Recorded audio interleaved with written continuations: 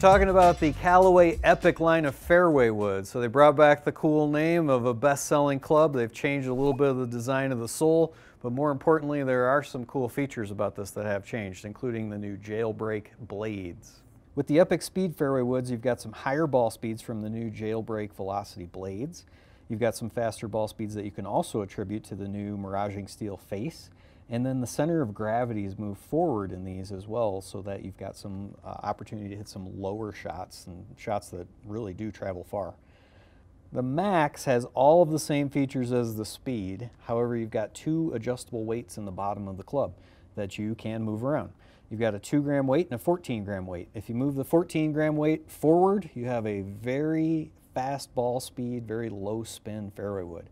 Move the 14 gram weight all the way into the back of the club and you, now you've got a super forgiving, high launch, high spin fairway wood. So out of these two, you have one that's really built for uh, someone who's looking for low launch, low spin, distance type of fairway wood that you might hit off the fairway into a par five. And you have the Epic Max, which can really do the same thing. It's got a bit more adjustability as well. I'm interested in trying this one with our resident fairway wood hitting expert, Dave Balzer.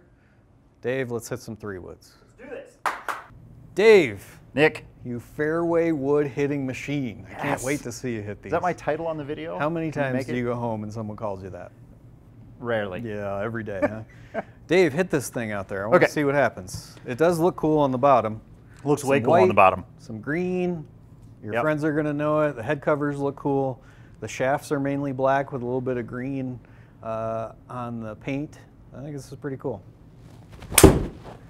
How'd you hit that one? Very well. Push, tiny draw, Push, nailed tiny it. draw. Yep, I'm concerned for some people to pull this out. I would not play this if I was a notoriously low spin player. So if you have a hard time with your driver keeping it up into the air, this probably isn't for you. This Yep. next one is though. Okay. However, anyone who's got some faster ball speeds like you're demonstrating there, that went 297. Nice job. It says 299 there, but that's lying. You launched it at 14 with 3,200 RPMs of backspin. That's a really good uh, Yep. way to play that. Felt great. Uh, you want to try the max? Let's try the max. That would be good for you though. If you nailed all of them like that, that'd be awesome.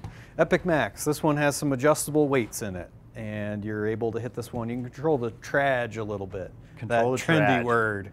You can hit it higher or lower, put some more spin on it by where you put these uh, the weights in the club. I saw a video talking about the traj. yeah, recently. those are good videos. Absolutely. Also, I used to have a dog named Max. huh? Yeah. Yeah, he died. Really? Huh, good story. Very uh, heartwarming here. Now that's really nice though. Max would That have been hit proud. well. That, was one you- that was for Max. That so one you nailed. It is a little more draw bias, Yep. and I have this actually set up to be the the lower spinning, longer distance type of category for this club. 284 push draw basically on the target. that felt really, really good. That felt good. Okay. Yeah. Let me move that weight around. I want to put this one in the back now. Do it. So we've got two weights to move. So this is going to take me a second. So this isn't overly hard. They just uh, screw and unscrew with your standard wrench that came with the driver.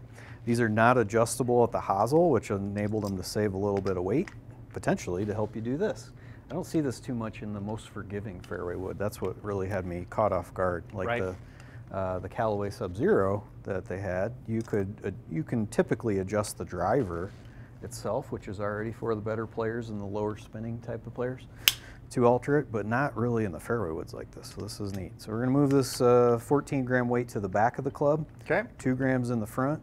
That moves your center of gravity away from the club face, further behind, and allows you to have a touch more spin. And the MOI, or the forgiveness of this, is going to go up as a result. Okay. Haven't measured how much yet, but that's a pretty significant amount of weight to be able to move around. You liked it with the forward set and the 14 grams, but let's try the back. Oh, a little behind again. A little behind it, Not but bad, even though. that is going to launch higher. And Yep, you can see you can that. see it there. Yep. So if you want a little higher launch, uh, touch more spin, this will be a good path for you, which I think is, is better if you want to use a three wood or a five wood to hit a green frequently. If you have those into holes, this was probably a better setup for you. That swing was more for my dog TJ. She's a bad dog.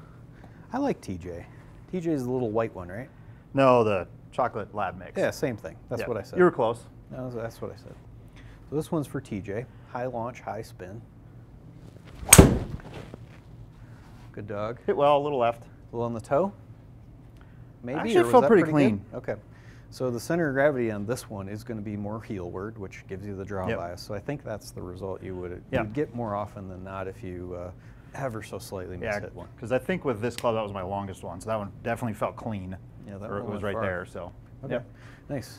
What do you think? You would you approve of these? definitely would approve of these. Okay, yeah, I like them both. They both look good, and I could probably play either one. Yeah, it just depends on the type of player you are and what characteristics you're looking for. But uh, if you want to hit some high launching, long fairway woods like Dave, the fairway wood hitting machine, just did, the place to do that is at GOLFTEC. So if you're interested in getting fit for these, uh, make a club fitting appointment now and find a local GOLFTEC coach near you.